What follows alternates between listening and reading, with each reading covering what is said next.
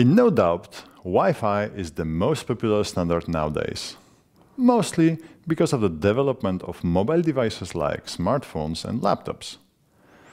Modern IoT system on chips, like in example Espressif, implement this protocol natively.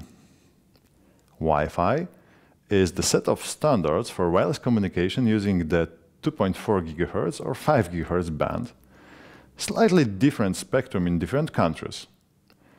The core specification of the 2.4 GHz contains 14 channels with 20 MHz width each, but currently 40 MHz width is widely accepted. While there is no centralized physical layer controller, collisions frequently occur even more with a growing number of devices sharing the band. The collision is handled using carrier sense multiple access with collision avoidance uh, algorithm with a random binary exponential increase of repeating time. With a high speed of transmission and range usually not exceeding 100 meters, it is widely used as the direct replacement of wired Ethernet in the local area networks.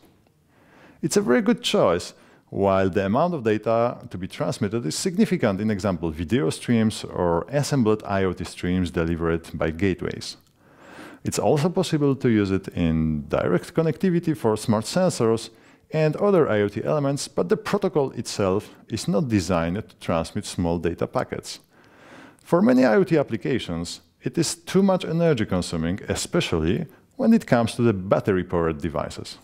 Moreover, Wi-Fi itself offers only one-to-one -one or star-like network topology, where the central point is a Wi-Fi access point and doesn't provide natively mechanism for self-reorganizable failure-tolerant mesh networks.